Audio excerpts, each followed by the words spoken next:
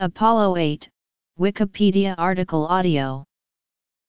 Apollo 8, the second manned spaceflight mission in the United States Apollo space program, was launched on December 21, 1968, and became the first manned spacecraft to leave Earth orbit, reach the Earth's moon, orbit it and return safely to Earth. The three astronaut crew commander Frank Borman, command module pilot James Lovell, and lunar module pilot William Anders became the first humans to travel beyond low Earth orbit, see Earth as a whole planet, enter the gravity well of another celestial body, orbit another celestial body, directly see the far side of the moon with their own eyes, witness an Earthrise, escape the gravity of another celestial body, and re-enter the gravitational well of Earth. The 1968 mission, the third flight of the Saturn V rocket and that rocket's first crewed launch, was also the first human spaceflight launch from the Kennedy Space Center, Florida, located adjacent to Cape Canaveral Air Force Station.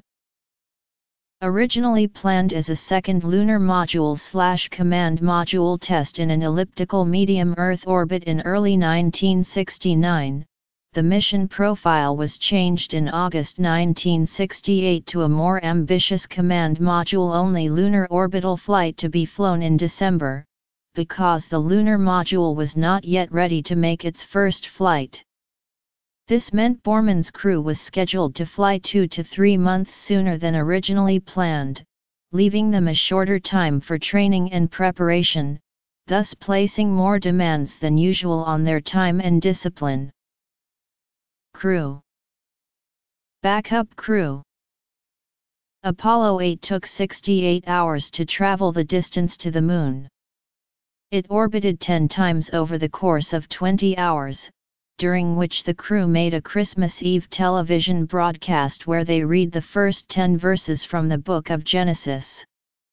At the time, the broadcast was the most watched TV program ever. Apollo 8's successful mission paved the way for Apollo 11 to fulfill U.S. President John F. Kennedy's goal of landing a man on the Moon before the end of the 1960s. The Apollo 8 astronauts returned to Earth on December 27, 1968, when their spacecraft splashed down in the northern Pacific Ocean. The crew members were named Time magazine's Men of the Year for 1968 upon their return. Lovell was originally the CMP on the backup crew, with Michael Collins as the prime crew CMP. However, Collins was replaced in July 1968, after suffering a cervical disc herniation that required surgery to repair. This crew was unique among pre-shuttle era missions in that the commander was not the most experienced member of the crew, as Lovell had flown twice before, on Gemini 7 and Gemini 12. This was also the first case of the rarity of an astronaut who had commanded a spaceflight mission subsequently flying as a non-commander, as Lovell had previously commanded Gemini 12. On a lunar mission, the command module pilot was assigned the role of navigator, while the lunar module pilot was assigned the role of flight engineer, responsible for monitoring all spacecraft systems, even if the flight didn't include a lunar module. Edwin Buzz Aldrin was originally the backup LMP. When Lovell was rotated to the prime crew, no one with experience on CSM-103 was available, so Aldrin was moved to CMP and Fred Haise brought in as backup LMP. Neil Armstrong went on to command Apollo 11, where Aldrin was returned to the LMP position and Collins was assigned as CMP. Haise was rotated out of the crew and onto the backup crew of Apollo 11 as LMP. Mission Control The Earth-based mission control teams for Apollo 8 consisted of astronauts assigned to the support crew, as well as non-astronaut flight directors and their staffs. The support crew members were not trained to fly the mission, but were able to stand in for astronauts in meetings and be involved in the minutiae of mission planning, while the prime and backup crews trained. They also served as capcoms during the mission. For Apollo 8, these crew members included astronauts John S. Bull, Vance D. Brand, Gerald P. Carr, and Ken Mattingly. The mission control teams on Earth rotated in three shifts, each led by a flight director. The directors for Apollo 8 included Clifford E. Charlesworth, Glynn Lunney, and Milton Windler.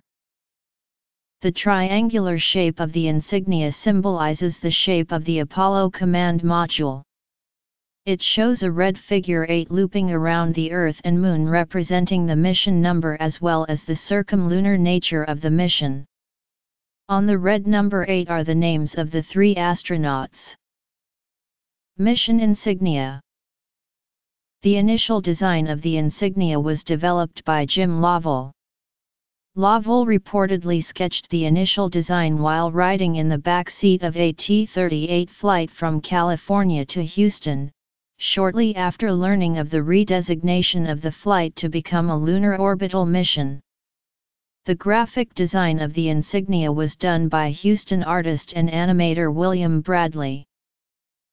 Apollo 4 and Apollo 6 had been A missions, unmanned tests of the Saturn V launch vehicle using an unmanned Block I production model of the Apollo Command and Service Module in Earth orbit. Apollo 7, scheduled for October 1968, would be a manned Earth orbit flight of the CSM, completing the objectives for Mission C. Further missions depended on the readiness of the lunar module. Apollo 8 was planned as the D mission, to test the LM in a low Earth orbit in December 1968 by James McDivitt, David Scott, and Russell Schweickart, while Borman's crew would fly the E mission, a more rigorous LM test in an elliptical medium Earth orbit as Apollo 9, in early 1969. Planning But production of the LM fell behind schedule, and when Apollo 8's LM arrived at the Kennedy Space Center in June 1968, significant defects were discovered, leading Grumman, the lead contractor for the LM, to predict that the first mission-ready LM would not be ready until at least February 1969. This would mean delaying the D and subsequent missions, endangering the program's goal of a lunar landing before the end of 1969. Saturn V George Low, the manager of the Apollo spacecraft program office, proposed a solution in August to keep the program on track despite the LM delay. Since the command-slash-service module would be ready three months before the lunar module, a CSM-only mission could be flown in December 1968. Instead of just repeating the C mission flight of Apollo 7, this CSM could be sent all the way to the Moon, with the possibility of entering a lunar orbit. The new mission would also allow NASA to test lunar landing procedures that would otherwise have to wait until Apollo 10, the scheduled F mission. This also meant that the medium Earth orbit E mission could be dispensed with. The net result was that only the D mission had to be delayed. Mission Almost every senior manager at NASA agreed with this new mission, citing both confidence in the hardware and personnel, and the potential for a significant morale boost provided by a circumlunar flight. The only person who needed some convincing was James E. Webb, the NASA administrator. With the rest of his agency in support of the new mission, Webb eventually approved the mission change. The mission was officially changed from AD mission to AC Prime Lunar Orbit Mission, but was still referred to in press releases as an Earth Orbit Mission at Webb's direction. No public announcement was made about the change in mission until November 12, three weeks after Apollo 7's successful Earth orbit mission and less than 40 days before launch. With the change in mission for Apollo 8, Director of Flight Crew Operations Deke Slayton decided to swap the crews of the D and E missions. This swap also meant a swap of spacecraft, requiring Borman's crew to use CSM-103, while McDivitt's crew would use CSM-104.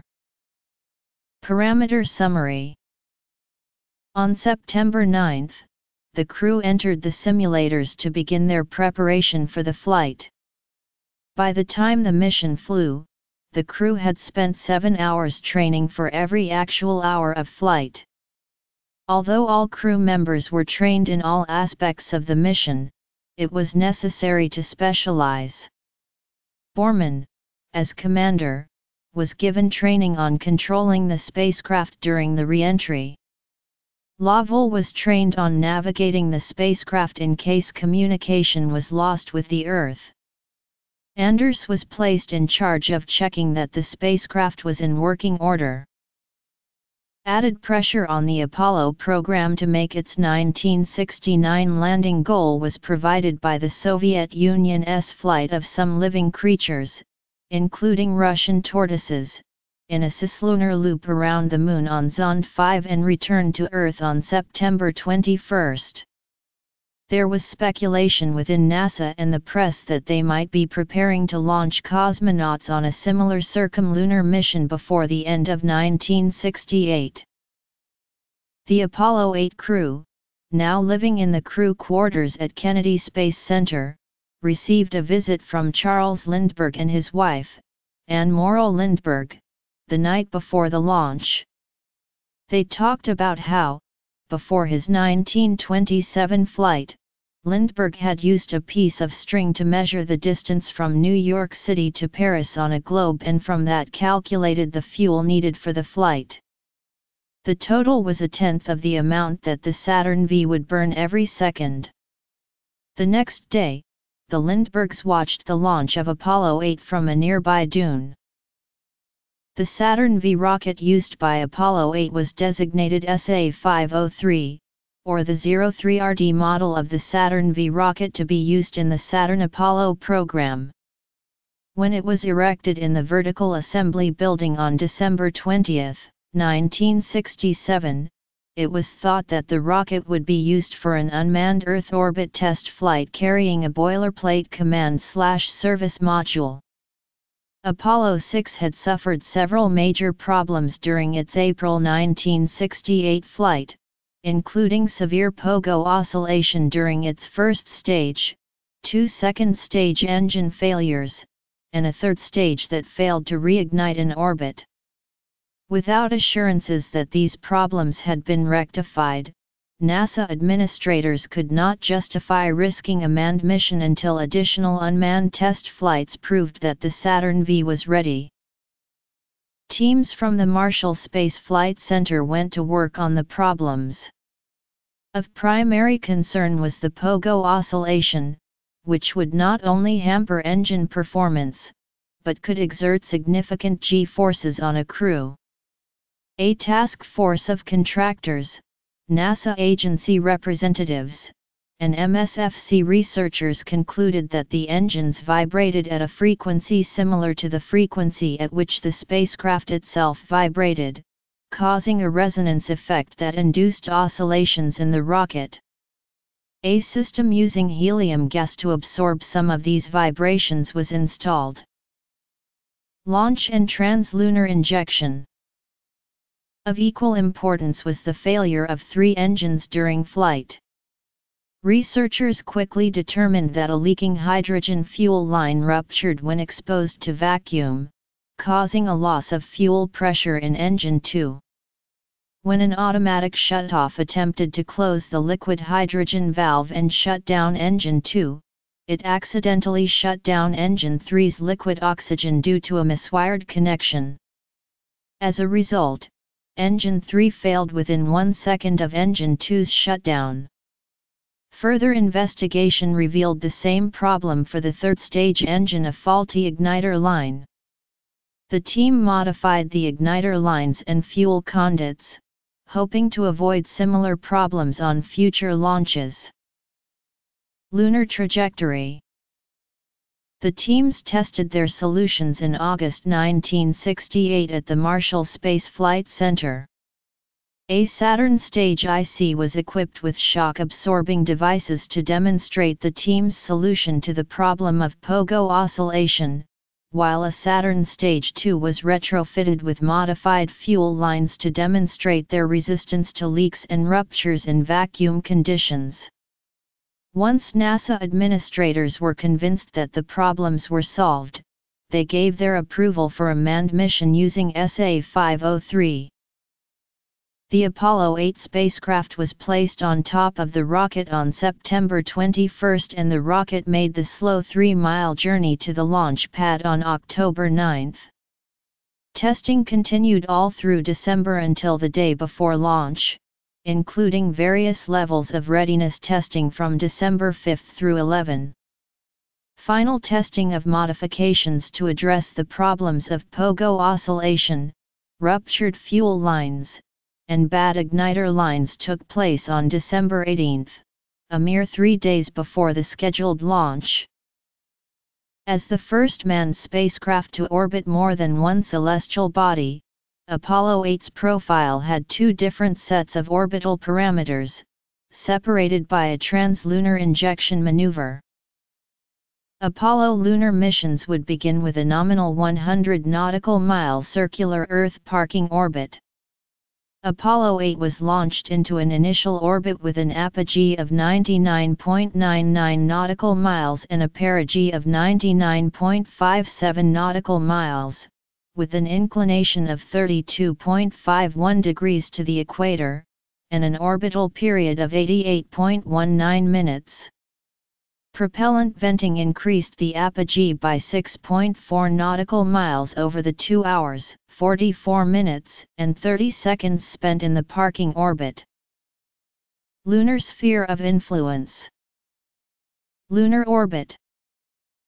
Earthrise Unplanned manual realignment This was followed by a translunar injection burn of the SIVB third stage for 318 seconds, accelerating the 63,650 pounds command slash service module and 19,900 pounds LM test article from an orbital velocity of 25,567 feet per second to the injection velocity of 35,505 feet slash s, which set a record for the highest speed, relative to Earth, that humans had ever traveled. This speed was slightly less than the Earth's escape velocity of 36,747 feet per second, but put Apollo 8 into an elongated elliptical Earth orbit, to a point where the Moon's gravity would capture it. The standard lunar orbit for Apollo missions was planned as a nominal 60 nautical mile circular orbit above the Moon's surface.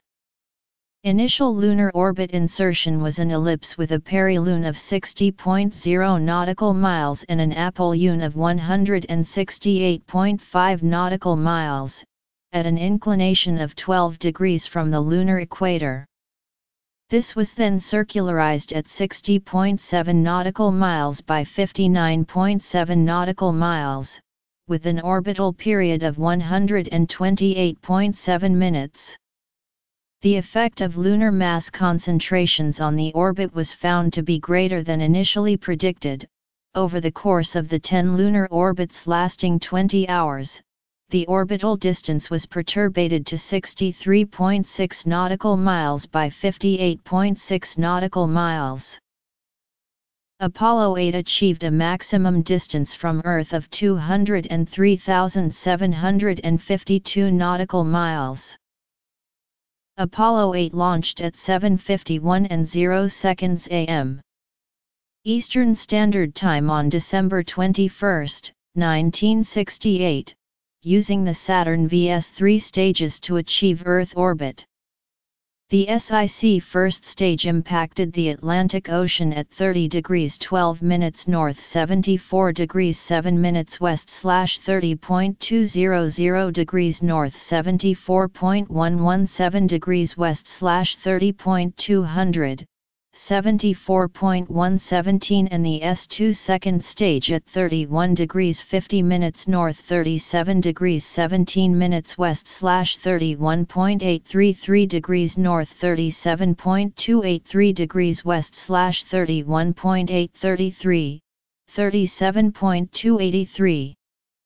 The SIVB third stage injected the craft into Earth orbit, but remained attached to later perform the translunar injection burn that put the spacecraft on a trajectory to the Moon. Once the vehicle reached Earth orbit, both the crew and Houston flight controllers spent the next 2 hours and 38 minutes checking that the spacecraft was in proper working order and ready for TLI. The proper operation of the SIVB third stage of the rocket was crucial, in the last unmanned test, it had failed to reignite for TLI. During the flight, three fellow astronauts served on the ground as capsule communicators on a rotating schedule. The Capcoms were the only people who regularly communicated with the crew. Michael Collins was the first Capcom on duty and at 2 hours, 27 minutes, and 22 seconds after launch radioed, Apollo 8. You are go for TLI. This communication signified that Mission Control had given official permission for Apollo 8 to go to the Moon. Over the next 12 minutes before the TLI burn, the Apollo 8 crew continued to monitor the spacecraft and the SIVB. The engine ignited on time and performed the TLI burn perfectly. After the SIVB had performed its required tasks, it was jettisoned. The crew then rotated the spacecraft to take some photographs of the spent stage and then practiced flying in formation with it. As the crew rotated the spacecraft, they had their first views of the Earth as they moved away from it. This marked the first time humans could view the whole Earth at once. Borman became worried that the SIVB was staying too close to the command-slash-service module and suggested to Mission Control that the crew perform a separation maneuver.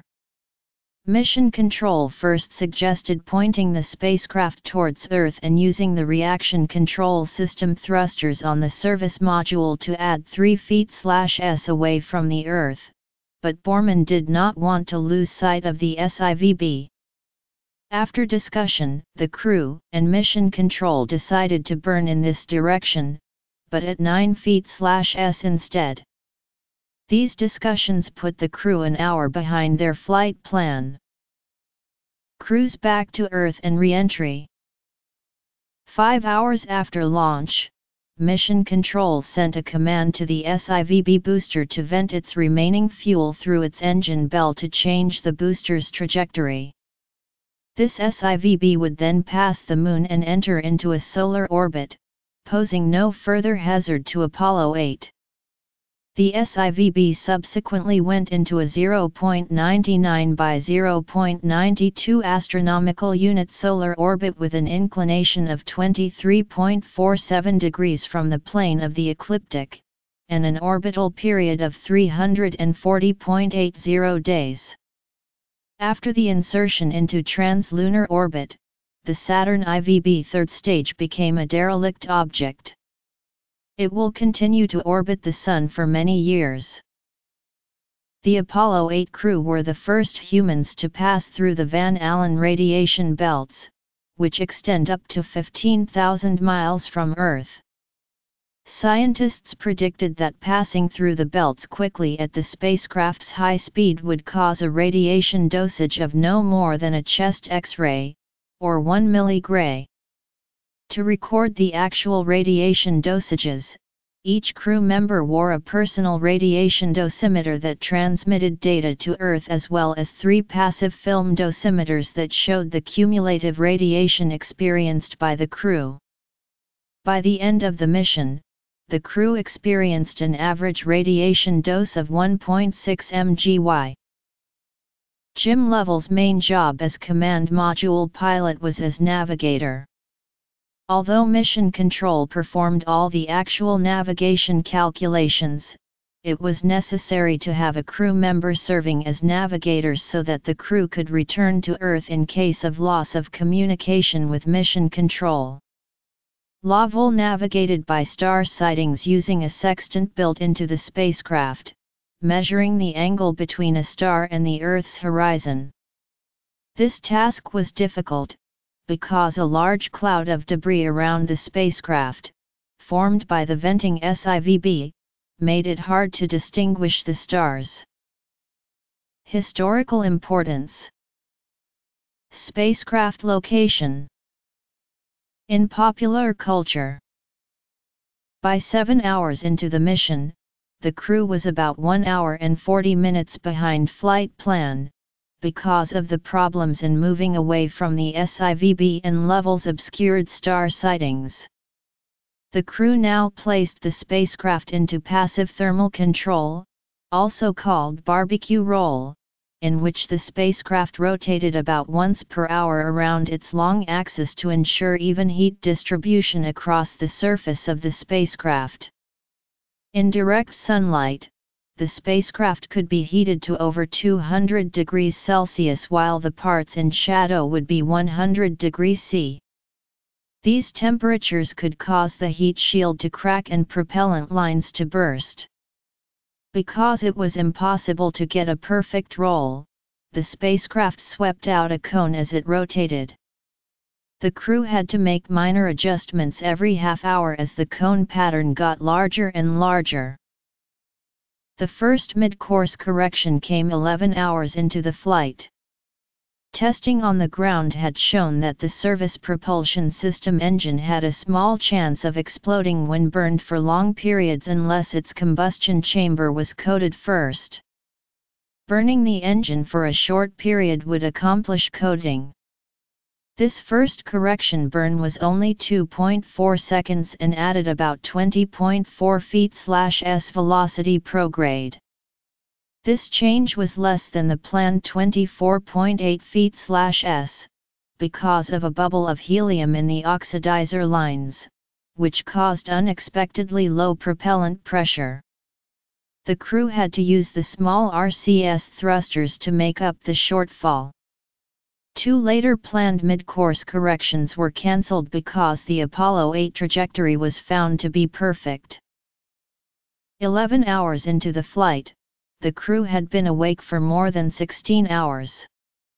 Before launch, NASA had decided that at least one crew member should be awake at all times to deal with problems that might arise. Borman started the first sleep shift, but found sleeping difficult because of the constant radio chatter and mechanical noises. About an hour after starting his sleep shift, Borman obtained permission from ground control to take a Seconal sleeping pill. The pill had little effect. Borman eventually fell asleep, and then awoke feeling ill. He vomited twice and had a bout of diarrhea, this left the spacecraft full of small globules of vomit and feces, which the crew cleaned up as well as they could. Borman initially did not want everyone to know about his medical problems, but Lovell and Anders wanted to inform mission control. The crew decided to use the data storage equipment, which could tape voice recordings and telemetry and dump them to mission control at high speed.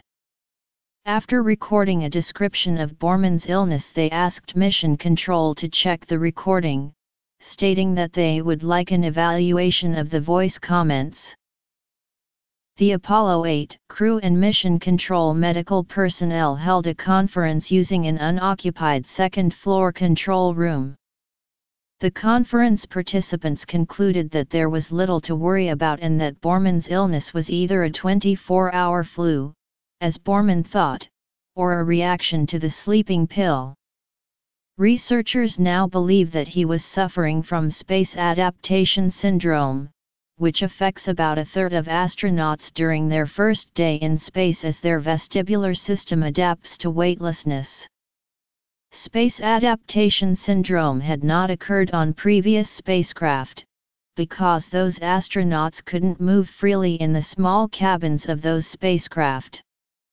The increased cabin space in the Apollo Command Module afforded astronauts greater freedom of movement, contributing to symptoms of space sickness for Borman and, later, astronaut Russell Schweickart during Apollo 9.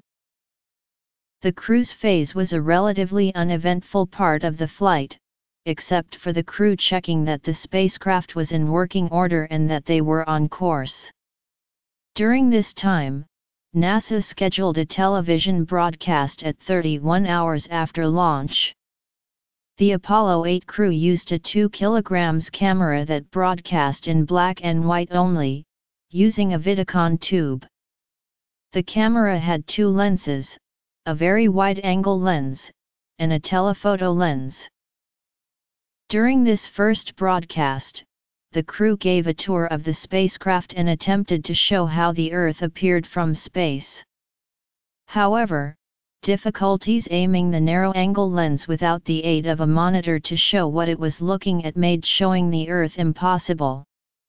Additionally, the Earth image became saturated by any bright source without proper filters.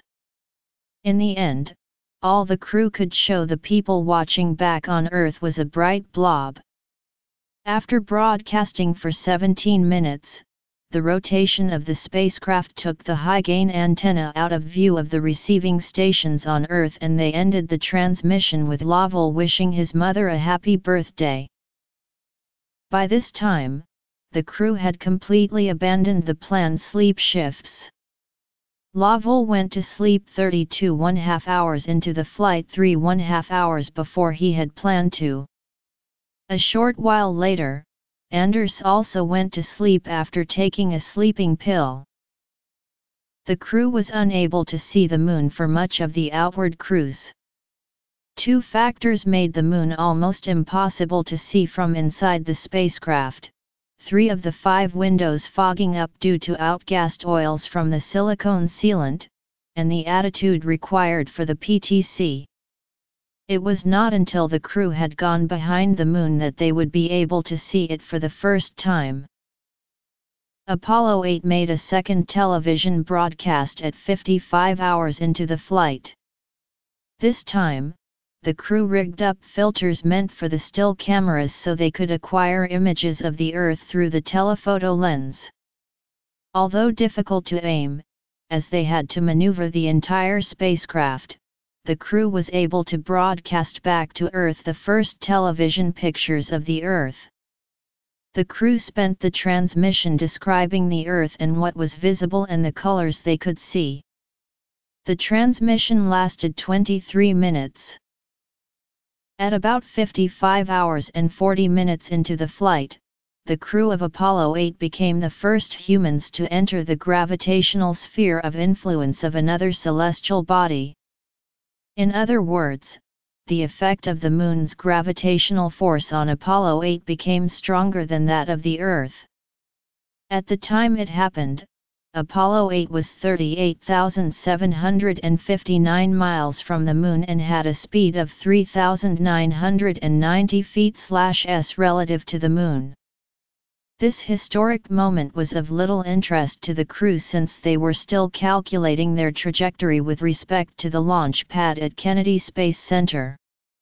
They would continue to do so until they performed their last mid-course correction, switching to a reference frame based on ideal orientation for the second engine burn they would make in lunar orbit. It was only 13 hours until they would be in lunar orbit. The last major event before lunar orbit insertion was a second mid-course correction.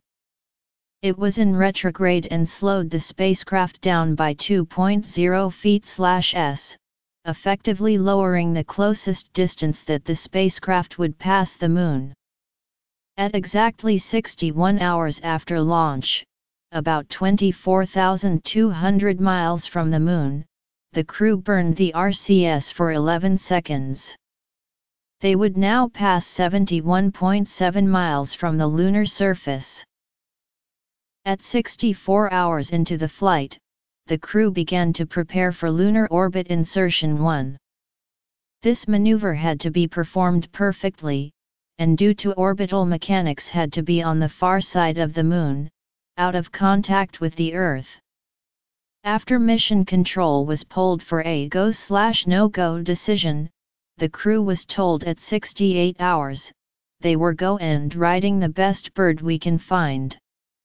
Lovell replied, We'll see you on the other side, and for the first time in history, humans traveled behind the moon and out of radio contact with the Earth.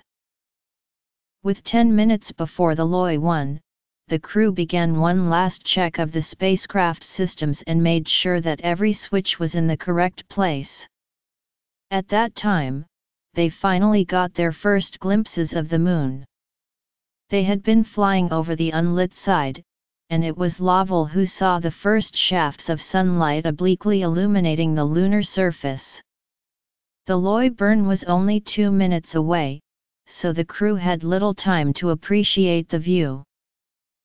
The SPS ignited at 69 hours, 8 minutes and 16 seconds after launch and burned for 4 minutes and 7 seconds, placing the Apollo 8 spacecraft in orbit around the Moon. The crew described the burn as being the longest 4 minutes of their lives.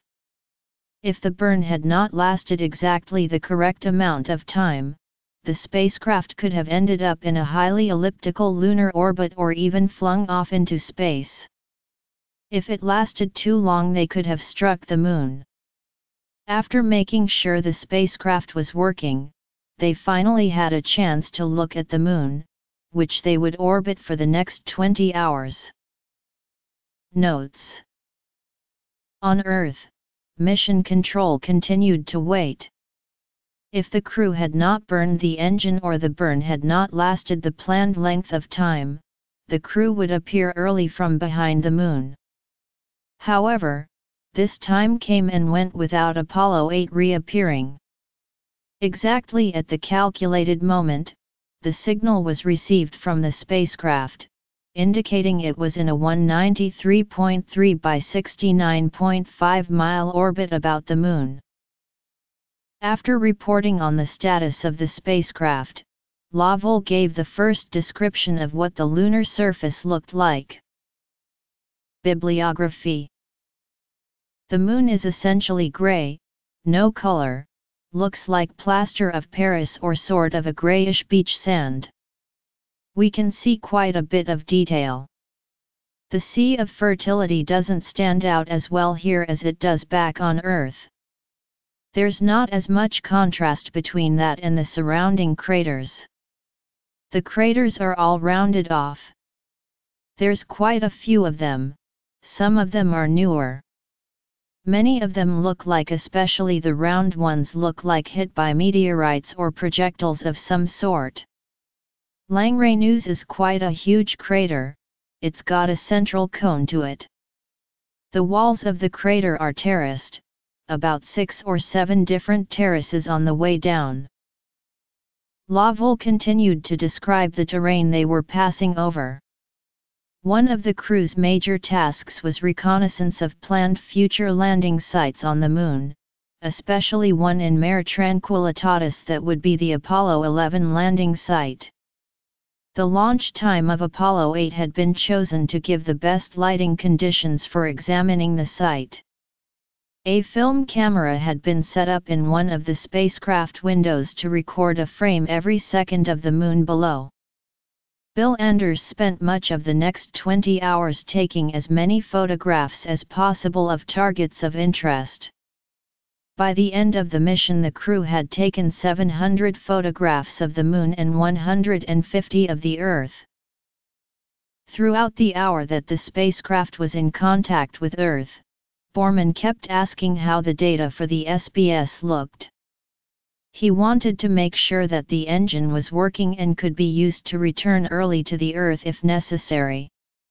He also asked that they receive a go-slash-no-go decision before they passed behind the Moon on each orbit. As they reappeared for their second pass in front of the Moon, the crew set up the equipment to broadcast a view of the lunar surface. Anders described the craters that they were passing over. At the end of this second orbit they performed the 11-second LOI-2 burn of the SPS to circularize the orbit to 70.0 by 71.3 miles. Through the next two orbits, the crew continued to keep check of the spacecraft and to observe and photograph the Moon. During the third pass, Borman read a small prayer for his church. He had been scheduled to participate in a service at St. Christopher's Episcopal Church near Seabrook, Texas, but due to the Apollo 8 flight he was unable to. A fellow parishioner and engineer at Mission Control, Rod Rose, suggested that Borman read the prayer which could be recorded and then replayed during the service. When the spacecraft came out from behind the Moon for its fourth pass across the front, the crew witnessed Earthrise for the first time in human history. Anders saw the Earth emerging from behind the lunar horizon, and then called in excitement to the others, taking a black and white photograph as he did so. Anders asked Lovell for a color film and then took Earthrise, a more famous color photo, later picked by Life magazine as one of its hundred photos of the century.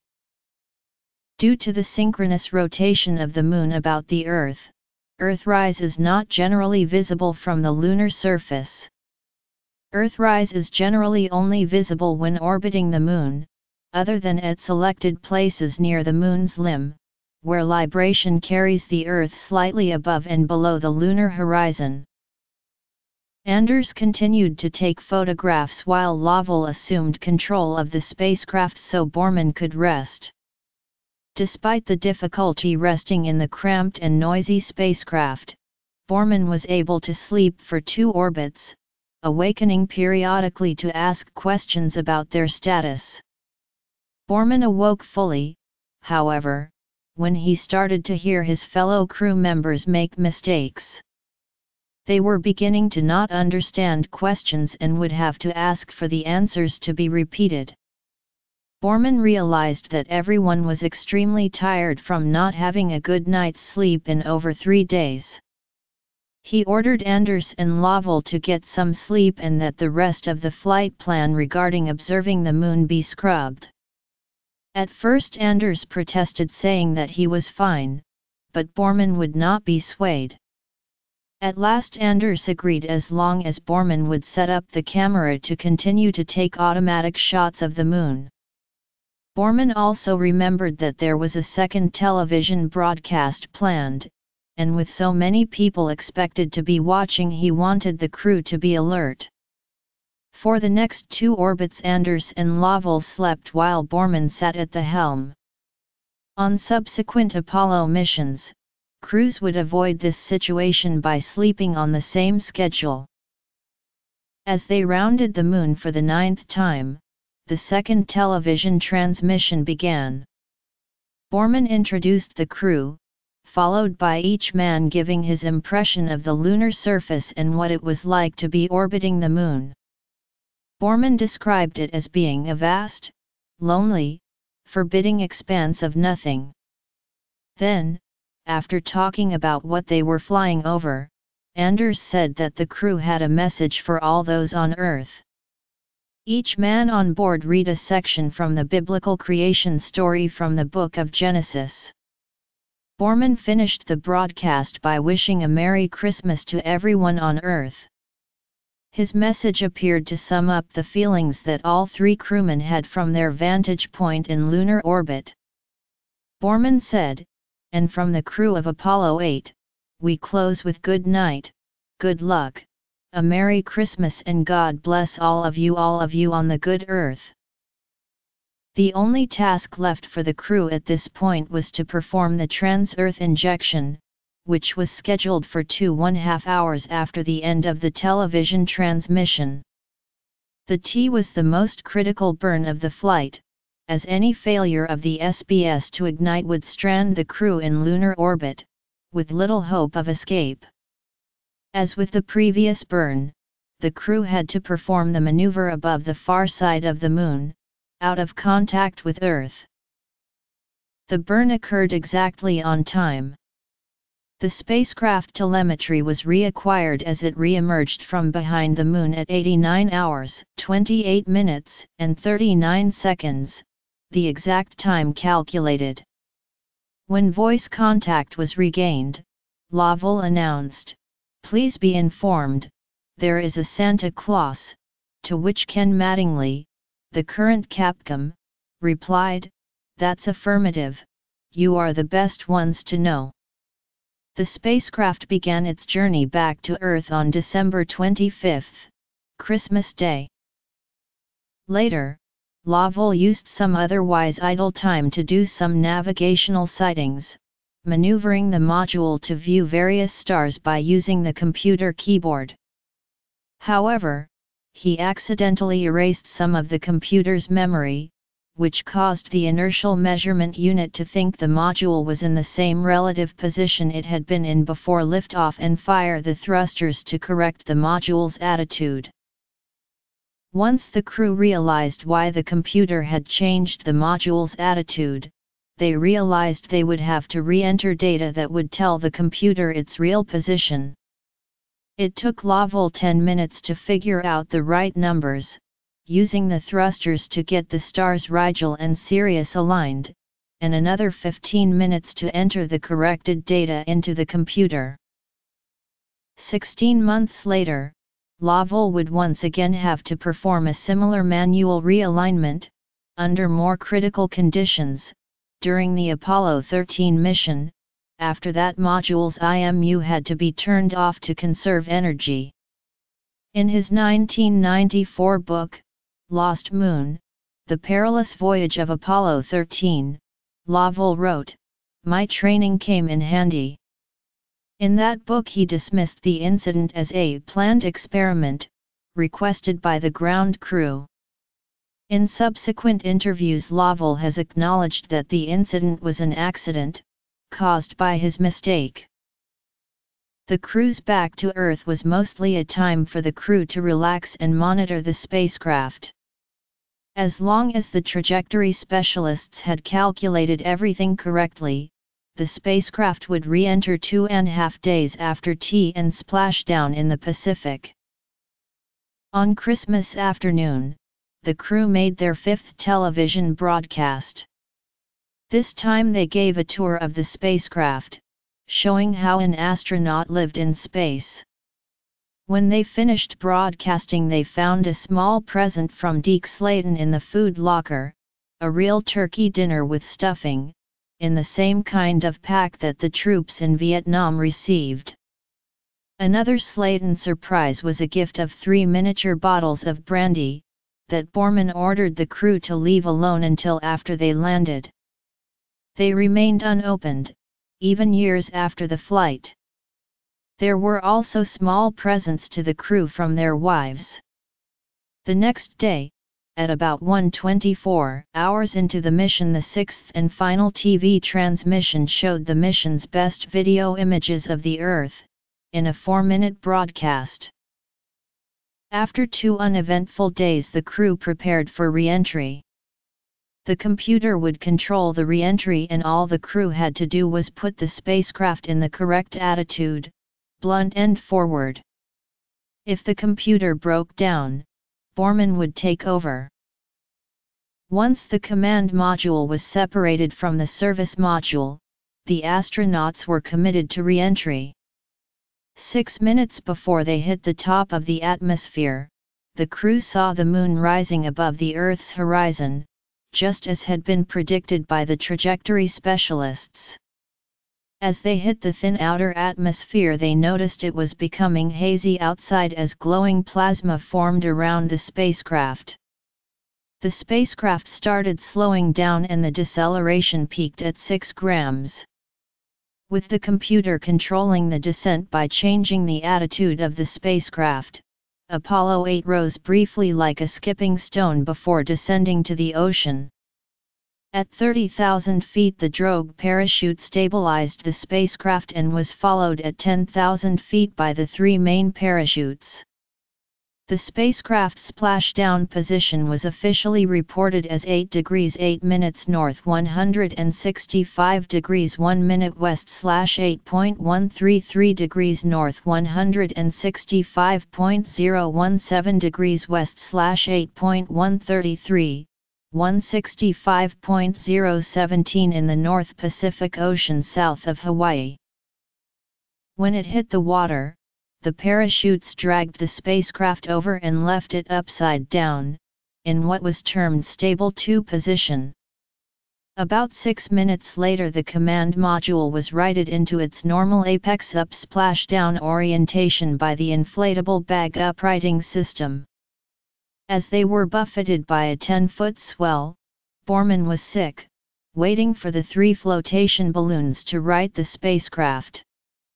It was 43 minutes after splashdown before the first frogman from USS Yorktown arrived, as the spacecraft had landed before sunrise. 45 minutes later, the crew was safe on the deck of the aircraft carrier. Apollo 8 came at the end of 1968, a year that had seen much upheaval in the United States and most of the world. Even though the year saw political assassinations, political unrest in the streets of Europe and America, and the Prague Spring, Time magazine chose the crew of Apollo 8 as its Men of the Year for 1968, recognizing them as the people who most influenced events in the preceding year. They had been the first people ever to leave the gravitational influence of the Earth and orbit another celestial body. They had survived a mission that even the crew themselves had rated as only having a 50-50 chance of fully succeeding. The effect of Apollo 8 can be summed up by a telegram from a stranger, received by Borman after the mission, that simply stated, Thank you Apollo 8. You saved 1968. One of the most famous aspects of the flight was the Earthrise picture that was taken as they came around for their fourth orbit of the Moon. This was the first time that humans had taken such a picture whilst actually behind the camera, and it has been credited with a role in inspiring the first Earth Day in 1970. It was selected as the first of Life magazine's 100 photographs that changed the world. Apollo 11 astronaut Michael Collins said, 8's momentous historic significance was foremost, while many space historians, such as Robert K. Poole, see Apollo 8 as the most historically significant of all the Apollo missions. The mission was the most widely covered by the media since the first American orbital flight, Mercury Atlas 6 by John Glenn in 1962. There were 1,200 journalists covering the mission with the BBC coverage being broadcast in 54 countries in 15 different languages. The Soviet newspaper Pravda featured a quote from Boris Nikolaevich Petrov, chairman of the Soviet Interkosmos program, who described the flight as an outstanding achievement of American space sciences and technology. It is estimated that a quarter of the people alive at the time saw either live or delayed the Christmas Eve transmission during the ninth orbit of the Moon. The Apollo 8 broadcasts won an Emmy Award, the highest honor given by the Academy of Television Arts and Sciences. Madalyn Murray O'Hair, an atheist, later caused controversy by bringing a lawsuit against NASA over the reading from Genesis. O'Hair wished the courts to ban American astronauts who were all government employees from public prayer in space. Though the case was rejected by the Supreme Court of the United States for lack of jurisdiction, it caused NASA to be skittish about the issue of religion throughout the rest of the Apollo program. Buzz Aldrin, on Apollo 11, self-communicated Presbyterian communion on the surface of the Moon after landing, he refrained from mentioning this publicly for several years, and only obliquely referred to it at the time. In 1969, the United States Postal Service issued a postage stamp commemorating the Apollo 8 flight around the Moon. The stamp featured a detail of the famous photograph of the Earthrise over the Moon taken by Anders on Christmas Eve, and the words, In the beginning God. Just 18 days after the crew's return to Earth, they were featured during the 1969 Super Bowl pre-game show reciting the Pledge of Allegiance prior to the national anthem being performed by Anita Bryant. In January 1970, the spacecraft was delivered to Osaka, Japan, for display in the U.S. Pavilion at Expo 70. It is now displayed at the Chicago Museum of Science and Industry, along with a collection of personal items from the flight donated by Lovell and the spacesuit worn by Frank Borman. Jim Lovell's Apollo 8 spacesuit is on public display in the Visitor Center at NASA's Glenn Research Center. Bill Anders's spacesuit is on display at the Science Museum in London, United Kingdom. Apollo 8's historic mission has been shown and referred to in several forms, both documentary and fiction. The various television transmissions and 16mm footage shot by the crew of Apollo 8 was compiled and released by NASA in the 1969 documentary, Debrief, Apollo 8, which was hosted by Burgess Meredith. In addition, spacecraft films released, in 2003, a 3-disc DVD set containing all of NASA's TV and 16mm film footage related to the mission including all TV transmissions from space, training, and launch footage, and motion pictures taken in flight. Portions of the Apollo 8 mission can be seen in the 1989 documentary For All Mankind, which won the Grand Jury Prize documentary at the Sundance Film Festival. The television series American Experience aired a documentary, Race to the Moon, in 2005 during season 18. The Apollo 8 mission was well covered in the 2007 British documentary In the Shadow of the Moon. Portions of the Apollo 8 mission are dramatized in the 1998 miniseries From the Earth to the Moon episode 1968. The SIVB stage of Apollo 8 was also portrayed as the location of an alien device in the 1970 UFO episode Conflict. The Apollo 8 mission was also featured in the Discovery Channel's six-part documentary series When We Left Earth, the NASA missions. All three astronauts were featured in this documentary, telling the story of their historic mission to the Moon in their own words. Footage of Apollo 8 appears in the Dawn of the Planet of the Apes movie. A clip of Frank Borman is shown on the news on TV in the background whilst the news covered the first manned mission to Mars. Apollo 8's lunar orbit insertion 1 was chronicled with actual recordings in the song The Other Side on the album The Race for Space by the band Public Service Broadcasting.